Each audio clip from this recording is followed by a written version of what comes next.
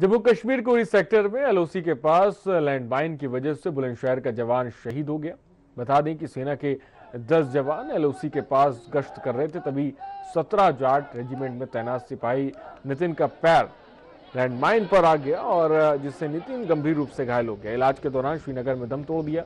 शहीद की अंतिम यात्रा में शामिल हुए केंद्रीय मंत्री महेश शर्मा जवान के शहीद होने का घटनाक्रम कुछ और ही बता रहे हैं, जबकि जिलाधिकारी और शहीद के शव के साथ आज सूबेदार घटनाक्रम कुछ और बता रहे हैं।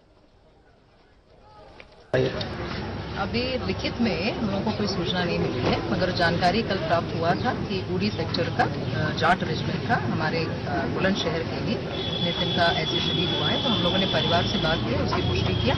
वहाँ पे भी सूबेदार जो देख रहा है आदमी उनसे भी बात हुआ। तो मामले की पुष्टि हुआ और अभी उसका अंतिम संस्कार है उसके लिए हम लोग सब देखिए एक हमारे क्षेत्र ने एक जवान एक बेटा खो दिया है। उन आतंकवादी और पाकिस्तान की उन घटना हरकतों के कारण उसने शहादत दी है। इंसिडेंट लाइन ऑफ़ कंट्रोल पे इंसिडेंट होते ही रहते हैं। वहाँ लाइन ऑफ़ कंट्रोल है। वहाँ पोस्ट मेंटेनेंस में या बाकी में ये होता रहता है इंसिडेंट ये क्या इंसिडेंट हुआ? ये माइन से हुआ था। माइंस से। एम एन फोर्टी माइन से इंसिडेंट कैसे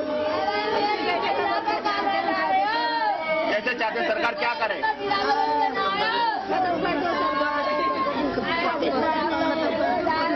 सूचना मुझे कल मिली थी जी ढाई बजे। क्या सूचना? मिली सूचना मिली थी कि मतलब ये कि उसकी उग्रवादी ने उसकी मौत कर किस तरह से बताया गया? किस तरह से इन्होंने जंग लड़ी? कितने दुश्मन थे? क्या चीज़ थी? कुछ ये ये नहीं। या किसने सूचना दी थी? क्या बताया? सूचना दी थी कि मतलब नितिन नितिन चौधरी है मतलब